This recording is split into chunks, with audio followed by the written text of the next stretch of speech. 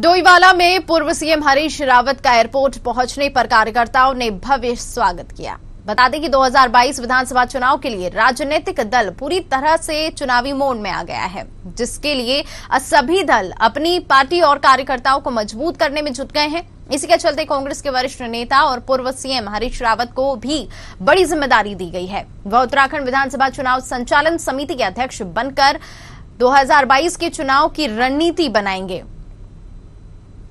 जबकि कांग्रेस में नया प्रयोग करते हुए इस बार चार कार्यकारी अध्यक्ष भी उत्तराखंड कांग्रेस संगठन को दिए हैं। उत्तराखंड से जावेद हुसैन की रिपोर्ट।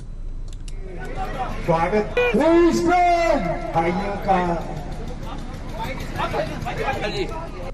सभी उत्तराखंड कांग्रेस के लिए बहुत बड़ा दिन है और ये बड़े सौभाग्य की बात है कि हमारे पूर्व मुख्यमंत्री हरीश रावत जी चुनाव समिति के अध्यक्ष बन के आए हैं। और गणेश गोदयाल जी प्रदेश अध्यक्ष बन के आए हैं। निश्चित रूप से जो नई टीम है, उत्तराखंड कांग्रेसियों का, इन्होंने मनोबल को मज़बूत करने का काम किया है। और आप देखिएगा 2022 में कांग्रेस की फिर वापसी होगी सत्ता में, और उत्तराखंड राज्य में कांग्रेस आएगी, और केंद्र में 2024 में फिर कांग्रेस कांग्रेस के पूरे उत्तराखंड के अंदर जो दिखाई दे रहा है, उससे साफ़ संकेत मिल रहा है कि आने वाला समय कांग्रेस का है। और भाजपा ने जिस ढंग से लोगों को मायूस किया है, हर क्षेत्र में भाजपा फेल हुई है।